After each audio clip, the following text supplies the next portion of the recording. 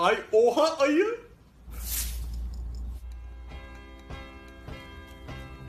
Orada kaç para varmış? Burada 2000 lira var.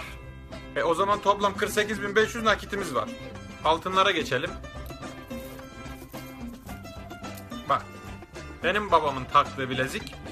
Senin babanın taktığı künye. Sizinkilerden bir bok olmaz. Üf sizinkiler sanki çok taktı.